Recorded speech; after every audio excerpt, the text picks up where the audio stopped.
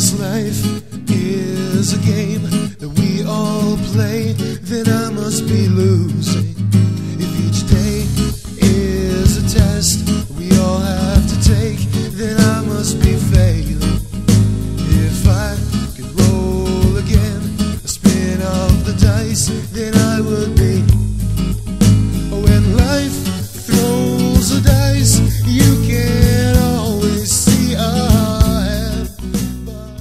1987. Two very important events occur in this year which allow us to pinpoint the birth of intelligent design as a so called science. The first event is the landmark United States Supreme Court case of Edwards v. Aguillard. In this case, the Supreme Court struck down the teaching of what was then called creation science in public school classrooms as unconstitutional as it failed all three prongs of the Lemon test. The second and most telling event regarding the origins of intelligent design is the subsequent changes made to the new editions of a creationist textbook. In 1983, Creation Biology was first published, and the book made no apologies for its direct use of the term creationism within its pages. In later editions and under different titles, the usage of the word creationism fluctuated somewhat, but in 1986's Biology and Creation, 1987's Biology and Origins, and later in 1987 of Pandas and People, the word creationism, a distinctly religious word, was used no less than 100 times throughout each draft. An amazing thing occurs just after the Edwards versus Aguillard decision is handed down later in 1987, however. The second edition of Pandas and People is drafted just after the court decision that makes creation science unconstitutional, and the word creationism all but disappears from the second and all subsequent editions of the book. Keep in mind that Of Pandas and People is the same book as the first edition of 1983's Creation Biology. This fact played a key role in the Kitzmiller versus Dover case, which demonstrated to the public that ID was no different than creationism in practice. In the earliest manuscripts of Pandas and People, creationism was defined as follows Creation means that the various forms of life began abruptly through the agency of an intelligent creator, with their distinctive features already intact fish with fins and scales, birds with feathers, beaks, and wings, etc.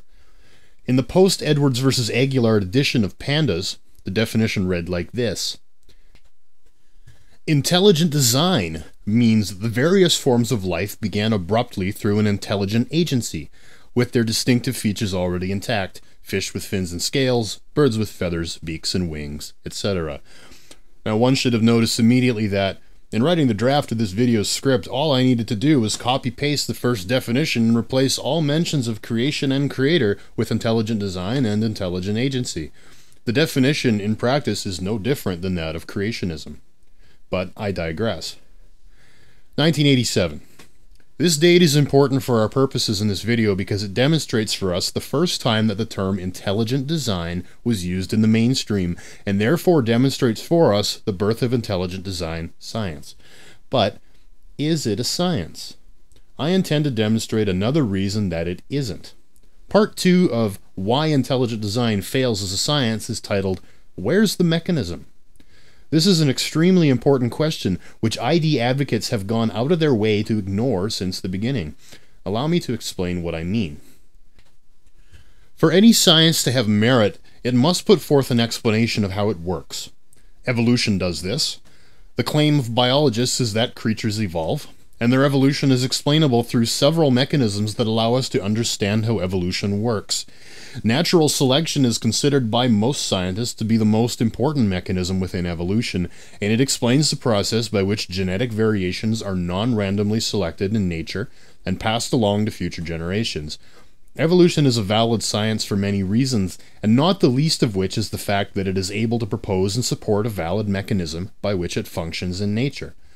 So, what is the mechanism by which intelligent design works?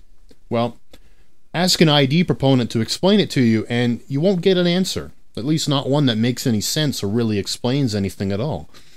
The fact that ID scientists do no research, publish no papers except in creationist publications, and advance no explanation regarding the mechanisms of their theory is extremely damning to ID as a science. Any scientist worth their paycheck should have asked, back in 1987, how does intelligent design work?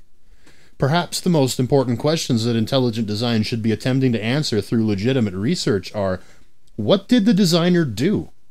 When did the designer do it? What steps did the designer take to design each individual creature? Who or what is the designer? These are fair questions that any scientist would seek an answer to. Instead, ID scientists go out of their way to avoid formulating answers to these questions. They expend a great deal of effort to ensure that everyone knows that they make no claims regarding the identity of the designer. In other words, according to intelligent design proponents, the identity of the designer and therefore the mechanism the designer used to design are not important so long as they can prove that design exists. Even if they could prove that design were anything more than a misconception of order in nature by fallible human minds, the next step as scientists would be to explain that design and increase the explanatory power of design theory. But they don't do this. They don't want to. Why not? It's really quite simple, and it'll answer the questions I'm sure you have regarding my lengthy digression at the beginning on the Edwards versus Aguillard case. They refuse to attempt to study design and better understand the mechanisms and the identity of the designer because intelligent design is forever linked to the attempt to install religion into public schools. After Edwards versus Aguillard, a conscious effort was made by the creationist community to remove all mentions of the identity of the designer from their so called science in order to have a better chance of slipping through the courts and being ruled constitutional. That's why creationism became intelligent design. And that's why intelligent design, after Kitzmiller versus Dover, turned into Teach the Controversy. And that's why Teach the Controversy is likely to evolve into something along the lines of sudden emergence theory. Although, in the first draft of a new book called The Design for Life by William Dembski, the following sentence appears Sudden emergence holds that various forms of life began with their distinctive features already intact fish with fins and scales, birds with feathers and wings, animals with fur and mammary glands. Sound familiar? It's the same definition from of pandas and people, but further edited to remove as much reference to a designer as possible. Still, it's possible to see that sudden emergence is tied to ID, which is tied to creationism, and all are unconstitutional and can't be taught in public schools. The challenge remains not one ID scientist has proposed any mechanism by which design works. I've demonstrated the reasons for this, and I would invite any creationist or ID proponent who disagrees to present a mechanism by which design works. Specifically, what did the designer do, and when did they do it? The question of who the designer is does matter to the answers of these questions, as the identity of the designer is directly tied to the questions themselves. For example, if it were the God of the Bible who designed, then we would know the mechanism of design by inference from the Bible. If the designers were aliens, then the Raelians would be right, and we would know where to look for the mechanisms of design. Claiming that the identity of the designer doesn't matter, so that you can further remove yourselves from your religious history, won't save you this time. You're not fooling anybody.